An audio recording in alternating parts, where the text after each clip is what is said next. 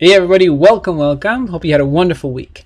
So in today's tutorial, I'm going to show you how to um, use the data table so that it has reactive cells. So the cells or your mouse is going to be like a button. So every time you click on a cell, it will change the graph here on the right. So as you can see, it will always have the x-axis will always be year. The title will be according to the country chosen on that same row.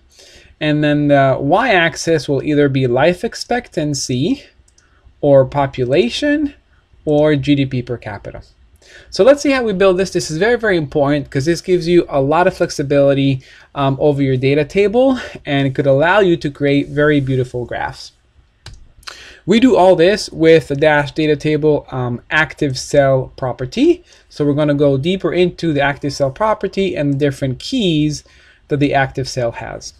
Um, to get started or to follow along, I would recommend going into my GitHub and downloading this this select selecting.py um, uh, uh, code or Python file, or just or just copy paste all the code into your own Python file.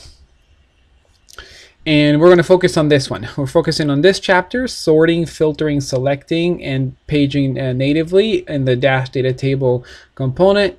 Uh, I have on the playlist, if you want to click above, I focus on many different chapters. In this case, I'm going to focus on the selecting part of this chapter right here. All right, so let's get started. How do we build this graph? Go, let's load the, um, load the selecting.py code. This code was actually written by Anne-Marie, my friend, and she's a Plotly forum moderator. She's a leader, and she she's a Dash expert. So definitely ask her questions if you have any. Um, this will require Dash 2.0 or higher, and with Dash 2.0, you can you can actually download import everything on one one line, and then we're importing Plotly Express. We're going to um, use a CSS uh, sheet written by um, uh, Plotly right here.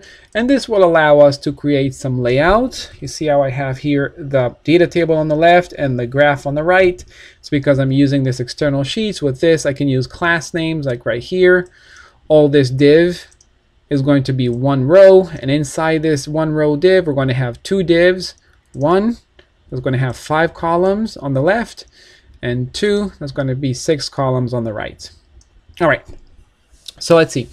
Um, we're going to use uh, the built-in uh, data set Gapminder. This is a, a, a, data set that's built into Plotly Express. They have several different data sets. I think if you click on this, uh, you can see here all the data sets. What I did, I did um, control uh, left click, and I see all the different data sets that um, Plotly Express has. We're using this data set. Um, and then we'll, we'll show you, we'll go over this in, in a few minutes. Okay, so first the layout. Simply, let's go over the layout for one minute. If you're not interested in the layout, you want to jump straight into the callback, then just jump into the callback using the, the video layout under the video. Okay, so in the layout, we have uh, one row. It's only everything is in one row, and in the first five columns to the left, we have the title, and then we have the dash uh, data table. And this date, and first of all, this is the title, 2007 Gapminder. And then this is the data table, the IDs table. It's going to have columns. We're going to say for C in columns, and the columns comes from here. All these columns that exist inside the Gapminder. So for in columns, we're going to give it, it's going to be, the name is going to be the same as the ID, C and then all the data, this is always, you're going to always repeat this. And the data, the data frame is just going to be the, the DFF. DFF is this right here. Um, Anne-Marie just um, filtered it, so we only have one year, 2007. That way, we only have um, one country instead of um, uh, one country per row. So it doesn't it doesn't um, duplicate itself because we only need this for 2007 for now. And then the page will only have 10 per 10 rows per page. And you can see here, there's 10 rows per page. There's only one country per row because everything here is from 2007, right? And the active cell. The active cell is this. With this object, which is this dictionary right here. And this has um, four different keys, row, column, column ID. As you can see here in the references, the reference section, column active cell is a dictionary with um, four different keys. You can see here, and these are the optional values that can go inside those keys. So at the very beginning, when the app loads, the first the, the active cell is going to be row zero, and the column ID is going to be country. So that's why the first time the app loads, the active the row is going to be zero here, and the column is going to be um, country. So that's why this is the active cell and not this or not this, but this one whenever we whenever we uh, load the app from the very beginning, right here. Okay, so this is the active cell, and then to the to the right of the five columns is going to be six columns. Right now we don't have anything in this div. The children is empty, but we're going to put inside of here, we're going to put a graph. We're going to put this graph inside the children of this ID. So if you actually, if you hashtag this out like this, you'll see that there will be no, no, no graph. It's going to be empty. It's going to just be an empty, empty div right here. All right. So let's just put this back like this. All right, now let's let's build a graph and let's go into the callback. So to better understand the callback, we just have one input and one output. The input is the active cell prop of the table, and the table ID belongs to the dash data table, and the active cell prop is this right here. So this is the active cell, which is going to be the argument of our uh, callback function. So this is just, for the beginning, this is just the same thing as all this, right? We took it from here, remember? This is the initial active cell, row ID 0 and column ID country. So this is an initial active cell. We're taking this, we're filtering all the data with, with rows and columns, and then we're building our graph. And after we build a graph, we return our graph inside a dash core component. Uh, we return our figure inside our dash core component graph because all figures need to go inside a, a, a graph component. And this goes inside the children of the output graph, right? The return object always goes inside the um, property of the output right? So the property of the output is right here. This is the output graph, and it goes like this. It's, as if you're doing this. Children, DCC graph, blah, blah, blah, blah, blah. Right? That's exactly the same thing. Okay. So let's see this. Now, um, let's explain the callback function. The callback function is building, I'm going to explain it from, from the bottom up. It's going to be easier. I'm going to explain, we're going to explain it through the building of the graph. So I'm going to build a Plotly Express line, line graph. And inside the line graph, I have to first, I have to define the data frame. So my data frame is going to be the data frame that is filtered where the country column equals country, right? So I'm going to have only one data frame inside this graph. And the data frame is not going to be all the countries. It's only going to be rows where the um, country column equals country. But what is this? This country object is this right here. All right. So to understand this, we have to understand row. Okay, because this will, will will give us the country. So first row. The row is the active cell dictionary, which at the beginning is this, where the where the key row ID is right here the key value. So this is going to be equal to the key value 0, right? This is as if this is uh, 0 the very first time.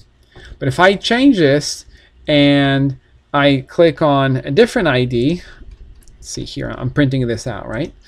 So if I'm going to put right now, it's 0. But if I click on a different ID, let's go click on this one right here, this row is not number 4, it's number 47, right?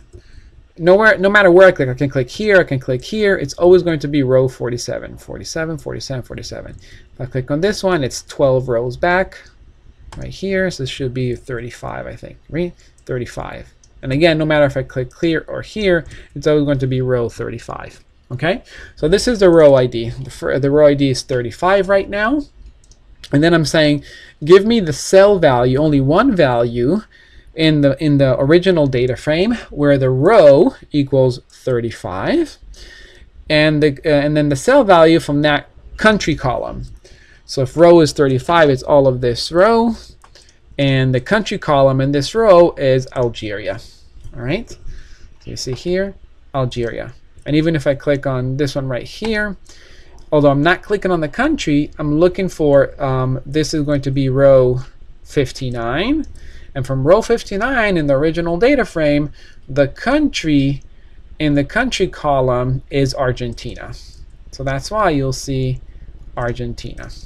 All right, so this equals, in this case, this equals Argentina. When the app first loads, this row, remember, is zero. So this is going to be zero, this is going to be zero, and the country uh, value in the country column is actually Afghanistan. So if we refresh this, you'll see that this equals Afghanistan. Print country, Afghanistan.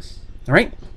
So if this equals Afghanistan, now we know that the data frame is a filter data frame where all the rows equals Afghanistan because Afghanistan has 12 different rows in the original data frame from all the way from 2000 from 1952 all the way it jumps in 5 57 62 up until 2007 so there's 12 rows for Afghanistan so this is um, a smaller data frame within data frame this data frame we're going to the X um, axis is always always going to be the year column. So this is why the X is always the year. No matter where you click, the X is always going to be the year. And then the Y column, the Y axis is going to be Y. Y is an object that we created here. And it says if column, so we have to understand what column means. This column comes from here. So this column is again the active cell dictionary where the column ID, this is the, the, the key, column ID, at the beginning is going to be country. When we first load the app, is going to be equal to country. The column ID equals country, right? It's right here. You see? Column ID equals country. But if I, uh, so this is going to be equal to country, the string country. But if I change this to pop, like this, or here or here, the column ID will be pop. You see? Pop, pop, and pop. So this is the column ID. In this case, it's uh, pop right now because we are we are here in this column. And if this is pop, then we're going to say here if pop is in this list of pop or GDP per cap, then pop then just this equals pop, which means assign pop to y, which means y equals pop, which means the y-axis is going to be the pop column, the population column, which is right here, right? If we choose the column is going to be equal to, let's say, GDP per capita, because we're going to choose GDP per capita, this one or this one, then then GDP per capita is going to be here, which is going to be here, which is going to be here. GDP capita, which is the y-axis of the of the graph.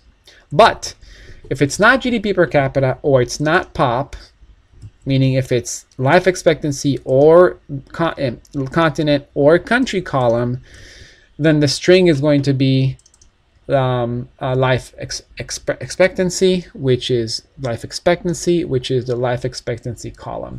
So you see life expectancy is going to be always the y-axis in these first three columns. Right? But if we click on this one or this one, then it changes.